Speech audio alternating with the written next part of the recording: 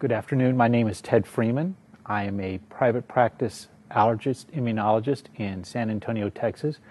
My home clinic is the San Antonio Asthma and Allergy Clinic.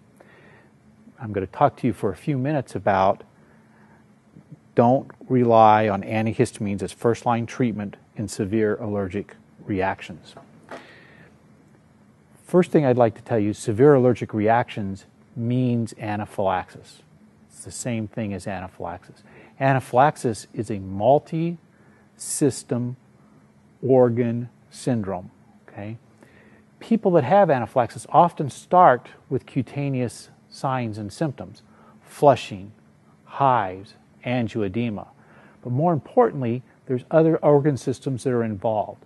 That includes the cardiopulmonary system, where you can have shortness of breath, wheezing, chest tightness, the cardiac system where you can have hypotension and tachydysrhythmias, uh, as well as the GI system, the CNS system, and other organ systems.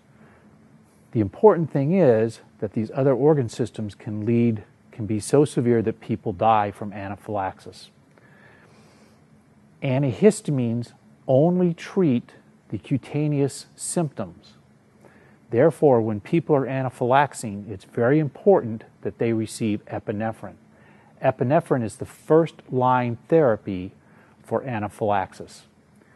To highlight this issue, over the last few years, several patients, several children have died while at school because they didn't have epinephrine available. This was such a high profile issue that Congress passed and President Obama signed into law a recent bill to increase the availability of epinephrine in schools.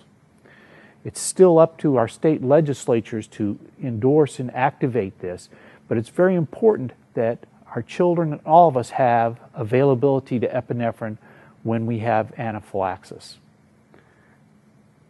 And this supports this, our choosing wisely statement of not overusing antihistamines in severe allergic reactions.